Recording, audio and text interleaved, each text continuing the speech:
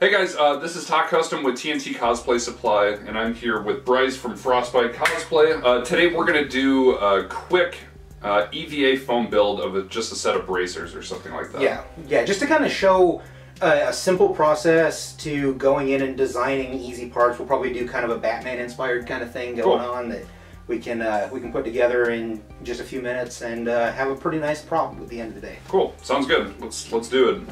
Okay. Okay, so to start off with, to make sure that the uh, pattern fits well, we're gonna go ahead and do a, uh, a pattern of the arm form out of just some saran wrap and duct tape, and that way we know that we've got something that's actually gonna fit the body. There's nothing worse than getting done with your prop and then realizing it don't go on. Right. Cool. So, all right, so we've got our saran wrap here. Um, we have this left over from when we shipped Orissa. Their uh, normal saran wrap is fine, but if you can see your arm here, we'll go ahead and wrap it the other way here. Okay. And so we're just going to wrap this in saran wrap, and that way the duct tape isn't going to stick to it. I had some scissors, and then I left them over there. Okay. So we'll go ahead and just make that. And all we're doing with the saran wrap, it doesn't need to be pretty, um, is it's just making sure that the duct tape doesn't stick to his arm. Okay. So now what we're going to do, Do you prefer duct duct tape or can you use masking tape or? you, you can use duct tape, masking tape, uh, just whatever you've got. Um, my masking tape's just super old and stuck to itself. Okay, cool. So I'll go this route. But so we'll go ahead and we're going to make our first wraps here on the uh, top and bottom. I don't want this to uh, cut off circulation. Okay, so we'll go ahead and here that might actually be a little bit high, but we can cut it down. yeah. Um, and then we'll just take some strips of uh, this duct tape and kind of fill in the gaps here. Now I like to go uh, up and down the arm instead of around, just because that way it fits a little bit looser pattern. Um, you absolutely can go around. It just uh, it's a lot easier to get carried away that way.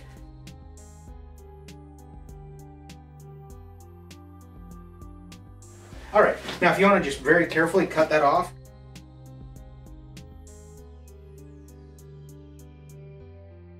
So we'll go ahead and pull that off then. Now, next thing we're going to need to do is kind of flatten this out, clean up the edges just a little bit, because where we've got the saran wrap and stuff sticking out, it's going to be just all over the place. And so we'll grab our X-Acto knife here, and we're going to just just kind of come in and trim it just a little bit.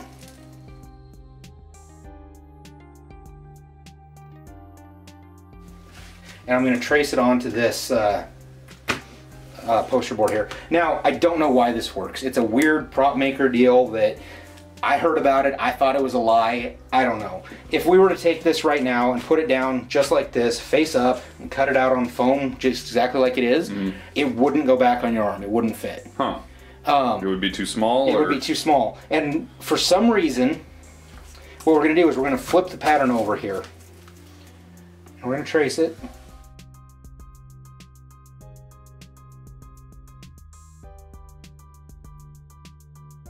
And so we'll go in and we'll just make a straight line. This is going to be the base of our armor. So now what we'll do is we'll go ahead and cut that out.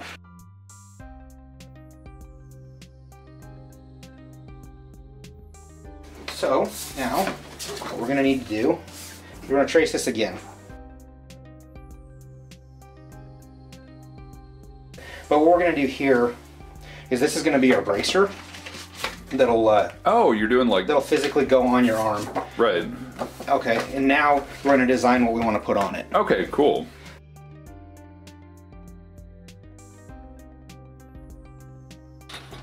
Now, if you've got a piece here that you know we're gonna expand it out and it's too short, we can just do this and repurpose Add a little it. bit on there. Yep.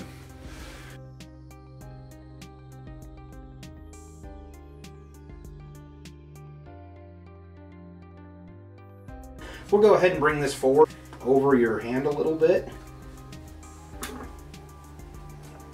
Okay, and then for uh, a lot of the Batman stuff anymore, you've got these spikes that come off. So we've got our main place here, and then let's say this is this was your left hand. Right. So what we'll do is we're not going to worry about these sides. This is going to be just kind of a top part here. Okay, I It's going to go on. And so let's design, let's say we want it to start here in the corner and come down. And then we want to bring that over and off to the side here to a spike.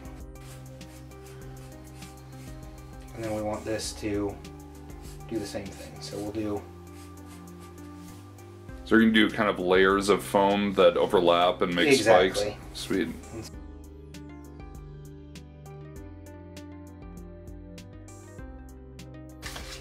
Now let's go ahead and cut our, our patterns here. And you can make anything you want this way. Um, you know, if you wanted to go in and do you know, more more flowing armor or things like that, um, a lot of filigree stuff and whatnot. Mm-hmm. You know, that's where you, I would sit and draw it out and then just use. In fact, you guys have those new triangles now. They're I'm looking forward to picking up some. of Oh yeah. Oh, I should have brought you some. that way I don't have to freehand cut mine anymore. Yep.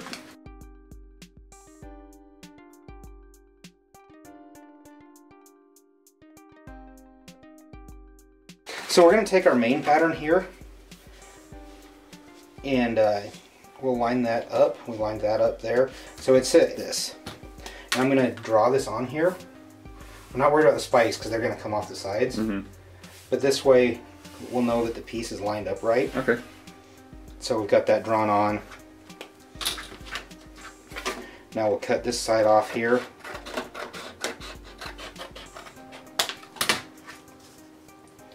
We'll line it back up.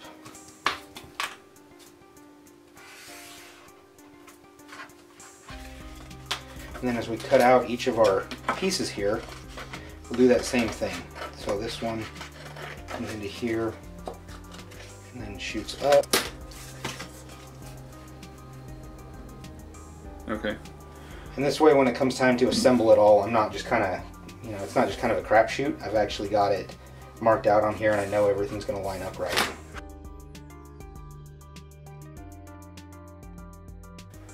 Then obviously, as you're cutting smaller shapes, we can just label each one so we know Exactly. which one's which and which way it goes.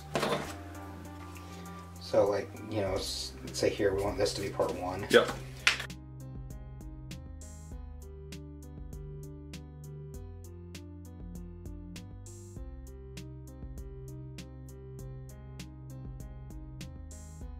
So, now we'll go ahead and start transferring that to some foam. Cool. Okay, so we've got some some six millimeter foam here. We're going to line that up. We're gonna use white so you guys can see little bit more clearly of what Bryce is doing here.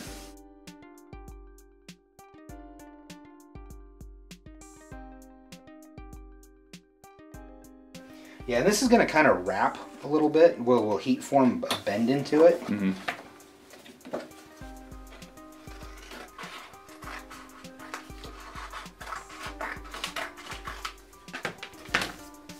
So the lines you're drawing on there are just to match up all the accents. Exactly. Yeah, because otherwise, you just eyeball it, Right. and uh, it gets to be kind of hard to line it up right. Yeah, then when you do the mirrored side for your other arm, if it's not perfectly symmetrical, it's gonna look weird. Yeah, and if if I was doing two sides, like if I was going to be doing two gauntlets, then we'd be uh, after every step we'd be going through. You know, we'll trace this one on, and then we'd flip it and do it on the other. one, Right. Okay, I got you. As, as we were going through each. To make sure everything is exactly the same. Exactly.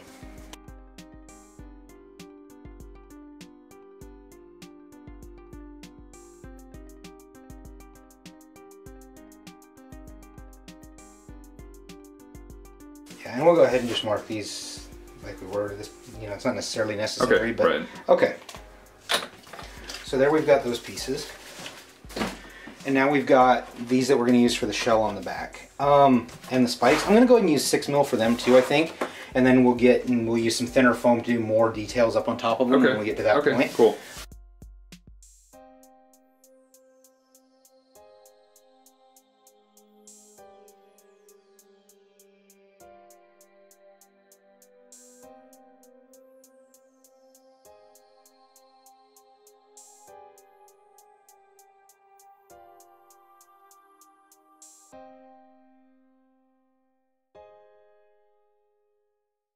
Now, A lot of people use the uh, extendable craft knives and stuff Right. to do this. I find that I actually get a, I personally get a smoother cut using the X-Acto knife.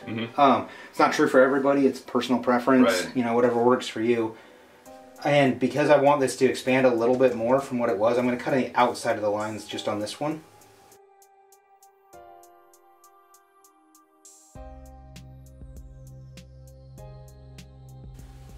The biggest thing is making sure that you have consistent blade angles, that you're getting that nice, you know, that nice 90 degree cut. Um, Okay, now these they're not as important, so we're gonna go just right on the line, Mhm.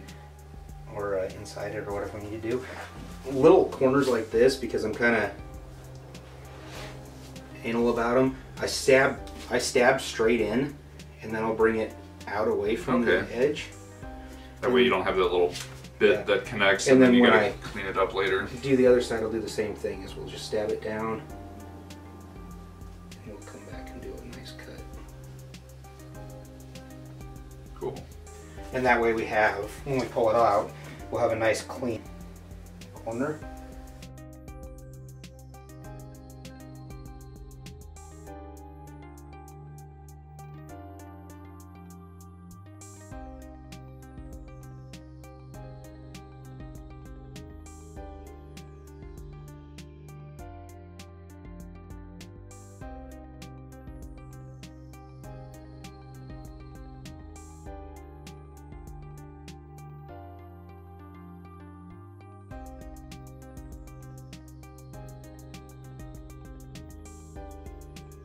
Okay, now these pieces here that are going to line up on here, I don't want to just be, you know, flat up against each other. Right. And so we're going to go ahead and take and Dremel just a little bit on these corners here. So all I'm going to do is just real quick, I'm going to do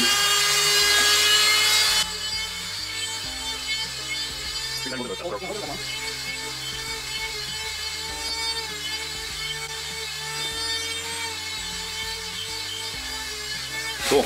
And that way, when we put them down on here, there's going to be Oh, a little bit of a yeah, gap. a little bit of a gap. That's cool. To be All able right. to kind of see what's going on. Put this back in. Then when you seal it and paint it, it's gonna give it a cool little texture there. Right.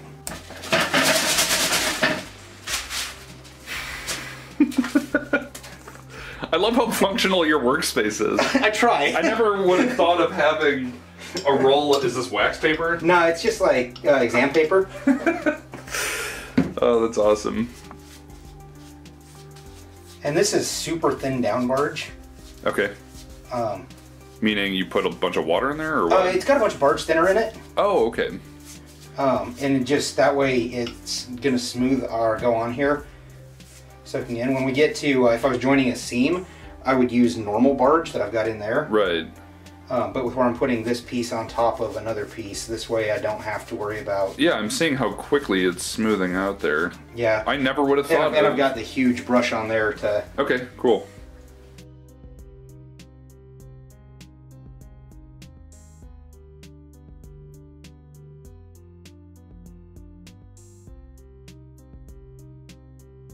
Only one coat?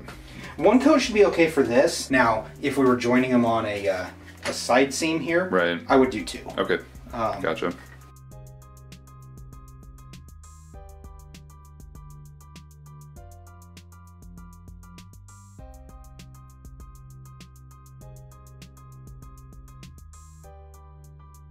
Okay, so we'll go ahead and kind of bend that in a little bit.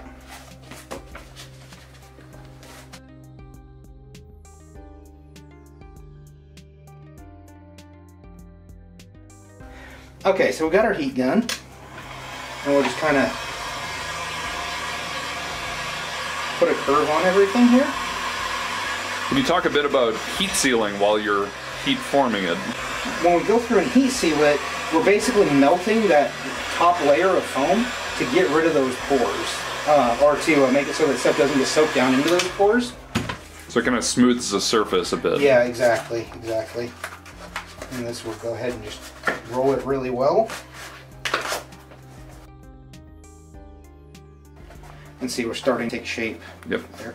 Now, let's say we wanted to you know, branch this off to where it looks like maybe it's a separate plate or something, or we wanted to, you know, whatever, do some kind of a detail. Mm. So what we could do, we'll go in here and we'll put a line that goes around the outside.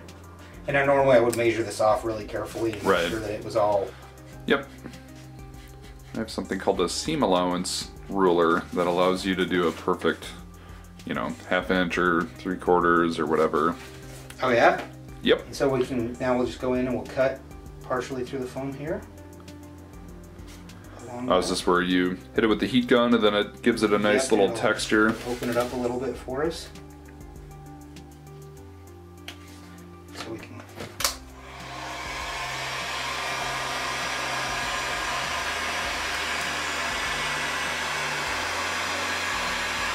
Yep. that way that'll open it up and we've got you know just a little bit more detail there. Yep. Pull this forward just a little bit and let's say we wanted to add you know some bolts. We can come in and just plug this down in a few places. There you go. So if you just use a sanding drum on a Dremel and press down, it adds these cool little rivet details. Then when you go back and paint it, it's gonna look awesome. Now, honestly, a lot of times for a prop like this, because it's going to have a hard time holding its form, Mm-hmm. I'm just going to go ahead and glue these edges together, and then we'll just cut. We'll uh, release it out later, Oh, okay, cool. um, and that way it's going to be a little bit easier for us to form this. Yeah, because you know the seams are gonna need to. Yeah, because we're Come gonna close to each yeah, other. we're gonna have to cut this and put Velcro in it, or what you know, Velcro or magnets or whatever it is that we decide to do. Yep. To do the filigree, the way that I do it is I'll come in here at a 45 degree angle. And this is where those new triangular dowels are going to be awesome. Yep. Okay, so you're just cutting a bevel on the corner. Yep. We need a triangle piece here to be able to do the filigree. Okay. And now, what we're going to do is I'm going to hit this with a heat gun just real quick while it runs away. Woo. And then while it's still kind of warm, we're just going to roll it up well, a a little bit. Huh. And that's just going to soften the edges a bit. Wow, that's really cool. It doesn't it doesn't make a huge difference, but it does uh, it does pop it up just a little. Now to make a mess.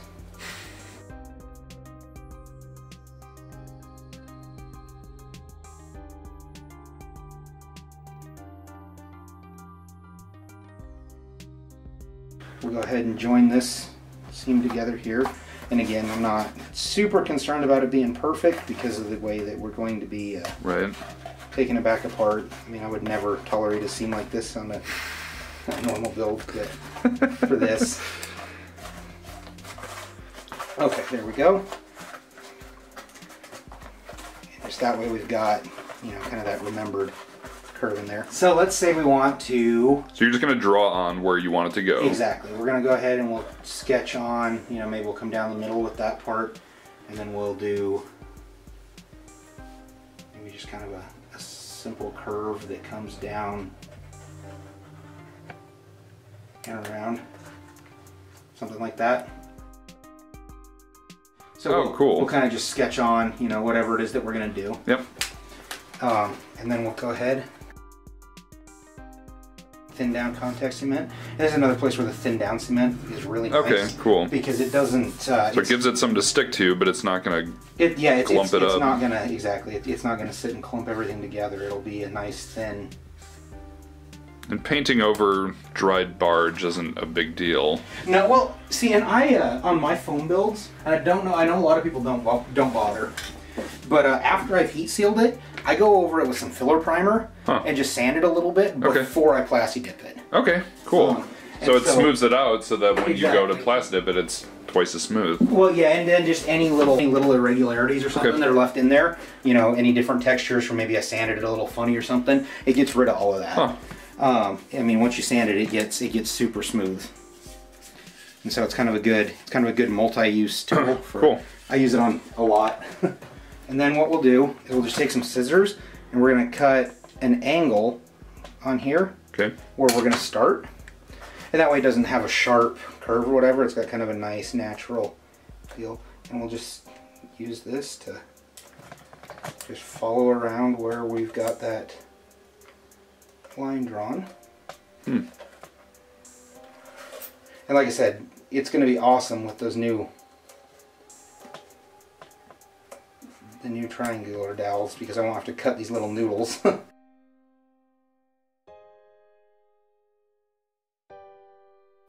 and the same thing, we're going to go in and just use an angle here. Okay.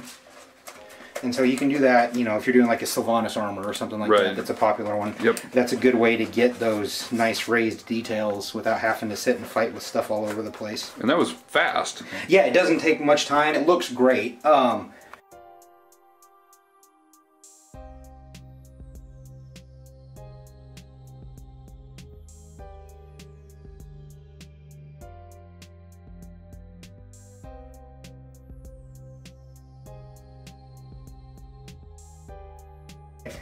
dry it, and then we'll just go over this with some. Uh, we'll just get it with some metallics to kind of make it look metal. Cool. And that way we've got a, uh, a simple finished deal.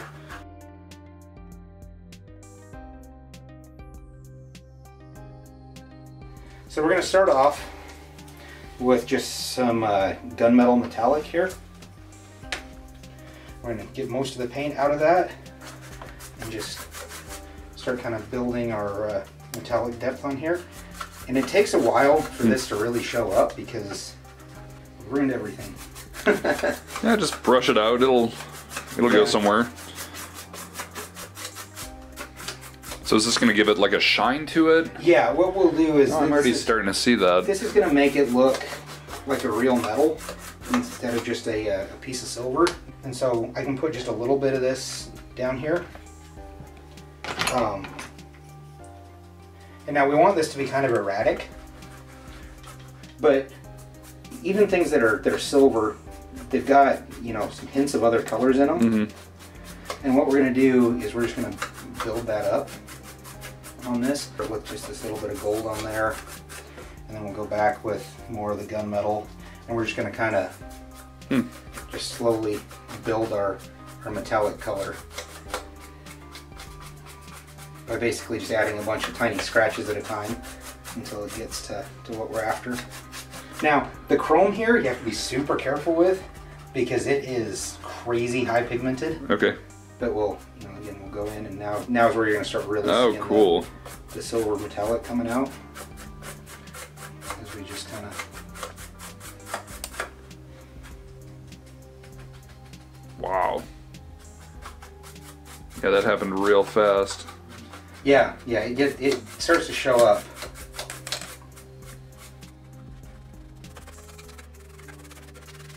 What was that? You know, you know, whatever, you know, just with it. And there we go. More or less kind of a, a steel looking prop. This looks terrific so far. Okay, so to finish this off, um, we're going to just attach some elastic that'll let it be slipped on. And so we've taken some EVA 70 and uh, just sewn through it onto some pieces of elastic that's going to let us uh, make this wearable. Oh, cool. So you're just using the high density stuff, Yeah, which easily sticks to foam, and then sewn it right onto elastic. yep, and then we'll just use a little bit of this super glue here. Now, if this was a part that was going to show, or you know, a, a uh, uh, like a competition build piece or something like that, I would uh, I'd put a lot more care into the closure, make sure that it wasn't visible at all, that everything was hidden really well. But for for the sake of a demo, this works.